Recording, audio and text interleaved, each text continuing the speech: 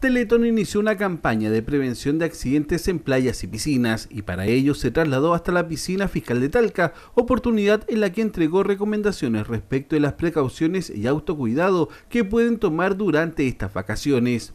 El instituto atiende anualmente entre 15 y 20 casos de niños y jóvenes derivados de accidentes en piscinas, playas y ríos que las vacaciones, que un lugar de compartir en familia, de, distracción, no se transforme en una tragedia. Por eso tenemos que ser responsables y cuidarnos, tomar algunas medidas muy básicas y sencillas como se explicita acá en este folleto.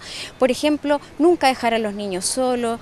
Eh, eh, tener protegidas las piscinas en sus casas, eh, en la playa también nunca dejar a los niños sin compañía de un adulto, evitar los piqueros riesgosos un mal piquero puede producir lesiones en la columna que pueden derivar en parálisis total o parcial de brazos y piernas.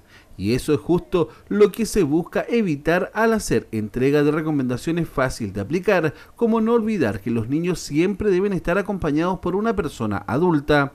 Es importante instalar rejas o protecciones alrededor de las piscinas para controlar el ingreso.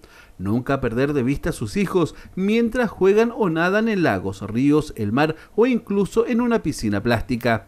No tirarse piqueros y evitar los saltos desde alturas como árboles, miradores, roqueríos u otros lugares.